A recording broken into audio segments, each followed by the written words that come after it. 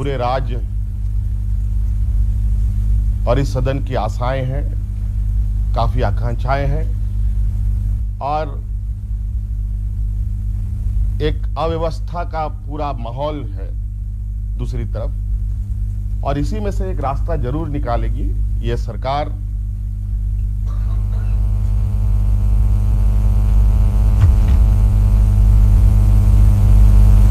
लोगों ने अपने बहुमत के बल पर दिया है। ना करके ये खरीद फरोख्त करके बनाई गई है। हमारी सरकार है। और एबीएम पे तो अभी भी सवाल है। उसको तो अभी भी बैलेट में आना चाहिए। ऐसी बात नहीं है। हमने तो कहा है। एबीएम में भी पुनर्विचार करने की आवश्यकता है। और कई चुनौतियाँ हमारे सामने है, अध्यक्ष महोदय। और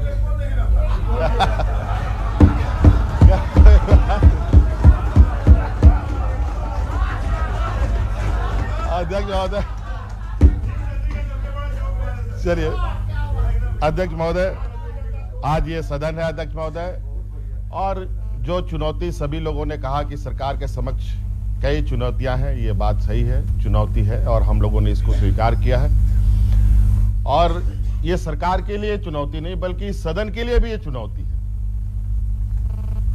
आज शायद सत्ता पक्ष के लोग आज विपक्ष में इसीलिए चले गए। हम सभी लोग कहीं ना कहीं विगत पाँच साल जिस तरीके से व्यवस्थाएँ चली, उस व्यवस्था और उस पाँच साल का संक्रमण काल कहा जा सकता है, जिसका नतीजा आज सत्ता पलट का दृश्य दिख रहा है। यह नहीं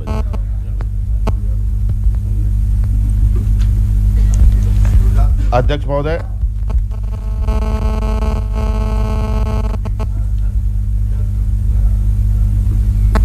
कई साथियों ने कहा कि हमने मुख्य सचिव को कुछ पत्र लिखा है, उनको आदेश दिया है कि यहाँ पर जो लंबित भुगतान है, उसको रोक लगाने के लिए हाँ किन्हीं कारणों से लगाया गया है, क्योंकि अनुपूरक बजट भी आना था। और जिस आशा और आकांक्षाओं के साथ लोगों ने हमें सत्ता सौंपा है, उनके अनुरूप हमें हर कदम उठाने थे। समय अवधि आने के बाद भी आपको पता चलेगा कि ये सारे आदेश किस लिए आ रहे हैं क्योंकि आप सभी विद्वान लोग हैं। और आप लोग को भी कई माध्यमों से सभी चीज़ें आपके जानकारी में आएगा।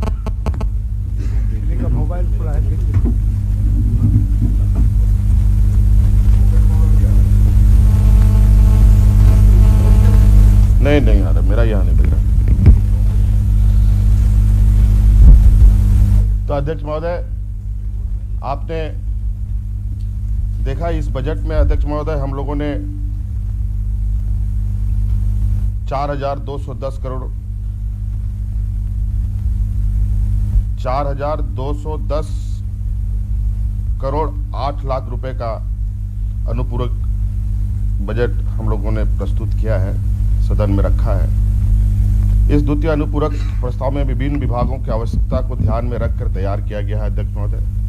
हमारी सरकार ने विभिन्न प्रकार के अनुबंध कर्मी जैसे आंगनबाड़ी सेविका, सहायिका, विभिन्न श्रेणियों के पेंशन भोगी, सभी प्रकार के छात्रवृत्ति, पारा शिक्षक एवं मदरसा शिक्षकों की लंबित भुगतान के लिए हमारे कैबिनेट की पहली बैठक में यह निर्णय लिया गया था, अध्यक्ष महोदय। और जिन्हें पूरा करने के लिए इस अनुपूरक में आवश्यक प्रावधान किए जा रहे हैं। इन आवश्यकताओं की पूर्ति हेतु ये द्वितीय अनुपूरक प्रस्ताव तैयार है अध्यक्ष महोदय। और ये 4,208 करोड़ रुपए में अध्यक्ष महोदय जिसका बाइफ्रिकेशन इस तरीके से है कि इस अनुपूरक में स्थापना व्यय में 1,416 करोड़ सत्तर लाख रुपए तथा स्कीमों के लिए दो हज़ार सात सौ तिरानवे दशमलव तीन एक करोड़ रुपए का प्रस्ताव है अध्यक्ष महोदय।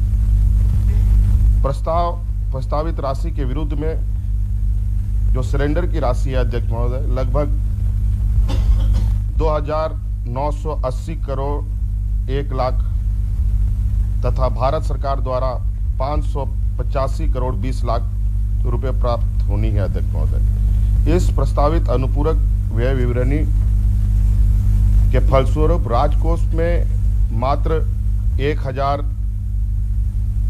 तीन सौ अट्ठासी करोड़ रुपए का अतिरिक्त भार पड़ेगा अध्यक्ष महोदय। अनुपूरक अंतर्गत किए जा रहे महत्वपूर्ण उपलब्धि उपबंधों का उल्लेख मैं थोड़ा कर, करना चाहूँगा अध्यक्ष महोदय। जिसकी चिंता है पूरे सदन को है, जैसे बाल विकास, महिला एवं सामाजिक सुरक्षा विभाग अंतर्गत आंगनबाड़ी सेविका, सहायिका को मानदेय हेतु 14 करोड़ सतासी लाख रुपए का प्रावधान किया जा रहा है, अध्यक्ष महोदय। दूसरा, अध्यक्ष महोदय, राज्य में वृद्धा पेंशन योजना, आदिम जनजाति पेंशन योजना एवं अन्य पेंशन योजना के लिए लगभग पाँच सौ तैतीस करोड़ अंठावन लाख रुपए का प्रावधान किया जा रहा है, अध्यक्ष महोदय। मातृ वंदना योजना एवं अन्य योजना हेतु लगभग छियासी करोड़ चौहत्तर लाख रुपए का प्रावधान किया जा रहा है, अध्यक्ष महोदय। अध्यक्ष महोदय, हमारी सरकार के प्रथम मंत्रिपरिषद की बैठक का निर्णय के अनुरूप पारा शिक्षकों के बकाए मानदेय के भुगतान एवं अन्य मदों में कुल इकहत्तर दशमलव दो पाँच करोड़ रुपए का प्रावधान किया गया है, अध्यक्ष महोदय। सभी पारा शिक्षकों की चिंता है, आंगनबाड़ी सेविका, सहायिका और अध्यक्ष महोदय, कई जो निचले स्तर के कर्मचारी हैं, चाहे वो आंगनबाड़ी सेविका, सहायिका हो, या हमारे शिक्षक में पारा शिक्षक हो, चाहे मदरसा के, इनको कई महीनों से सरकार ने तनखे नहीं दिए। और अखबारों में आपने कई बार पढ़ा भी होगा, पैसे के अभाव में पारा शिक्षक इलाज नहीं करा पाया, उसकी जाने चली गई। हम लोगों ने पहले आकर इस बात को निर्णय लिया है कि सरकार ने जिससे भी काम कराया है, कोई भी कर्मचारी हो, जिनके भी लंबित भुगतान है, उसको अविलंब सबसे पहले भुगतान किया जाए, उसके पश्चात और इसके लिए अध्यक्ष महोदय इधर अध्यक्ष महोदय, अनुसूचित जनजाति, अनुसूचित जाति, अल्पसंख्यक, पिछड़ा वर्ग, कल्याण विभाग के अंतर्गत आवासीय विद्यालय के संचालन हेतु विशेष केंद्रीय सहायता के अंतर्गत विशेष अंगीभूत योजना, छात्रवृत्ति, अन्य हेतु कुल 50 करोड़ का प्रावधान किया जा रहा है अध्यक्ष महोदय। अध्यक्ष महोदय, विद्युत उपभोक्ताओं को टैरिफ सब्सिडी एवं अन्य मद में तीन सौ पचपन दशमलव पाँच सात करोड़ रुपये तथा रुपये तथा डीवीसी और टीवीएनएल का बकाया भुगतान हेतु 200 करोड़ रुपए का प्रावधान किया जा रहा है महोदय हम लोगों ने पहले आकर इस बात को निर्णय लिया है कि सरकार ने जिससे भी काम कराया है, कोई भी कर्मचारी हो, जिनके भी लंबित भुगतान है, उसको अविलंब सबसे पहले भुगतान किया जाए, उसके पश्चात कोई काम और इसके लिए अध्यक्ष महोदय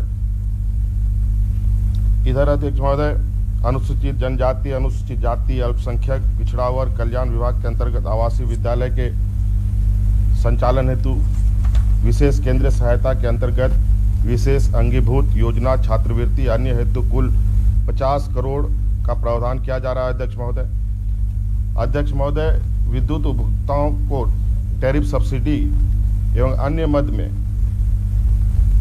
तीन सौ पचपन दशमलव पाँच सात करोड़ रुपये तथा रुपये तथा डीवीसी और टीवीएनएल का बकाया भुगतान हेतु 200 करोड़ रुपए का प्रावधान किया जा रहा है महोदय वैसे इसमें कई हज़ार करोड़ रुपए का बकाया अभी भी, पता नहीं, पिछले सरकार ने एक भी भुगतान किया, नहीं किया, ये तो नहीं पता, अभी तो आगे चलते चलते पता चलेगा बिजली की व्यवस्था इसीलिए शायद आँख मिचौनों की तरह अभी चल रही है। और उसको, इसलिए उसको अभी हम लोग मतलब कहा जाए ये 200 करोड़ भी ऊँट के मुँह में जीरा के बराबर है। नहीं तो पता चले कल को हमको कोई भी, ऐसे ही हम लोगों ने पतरातू थर्मल पावर पहले ही बेच दिया है। अध्यक्ष महोदय, हमारे पास कोई बिजली उत्पादन का संसाधन है नहीं। और अध्यक्ष महोदय, ऐसे स्थिति पर अभी काम चलाव की व्यवस्था ही हम लोग आगे कर पा रहे हैं।